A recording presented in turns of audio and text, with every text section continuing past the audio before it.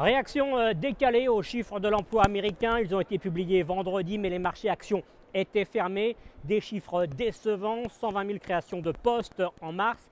Les économistes en attendaient 200 000. Du coup, cela relance le débat sur la solidité de la reprise et cela inquiète les investisseurs de la baisse au début de séance avec euh, un Dow Jones qui repasse même sous les 13 euh, 000 points. Le Nasdaq et le S&P 500 perdant euh, plus de 1%.